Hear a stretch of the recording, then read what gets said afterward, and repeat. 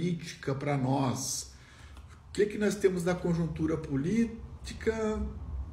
Como é que é? Senador Marcos Duval recebe multa de 50 milhões do ministro Alexandre de Moraes, que não respeitou a imunidade parlamentar conforme o Congresso Nacional não pode, diz o Bibo Nunes.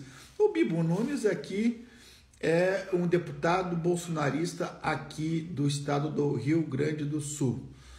Ah, Garopaba, Elisa, Santa Catarina é perto da gente, né? Oi, Estela, tudo bem? Obrigado por enviar. Pan, pen, pen, penarei, petista insano, desonesto, indecente e imoral. fibra, a, fibra, fibra, opa, tô chegando os bolsonaristas. Quando começa o xingamento e a má educação, é, eles já sabem quem é que é, mas eles fazem parte também, né, da rede social. Por que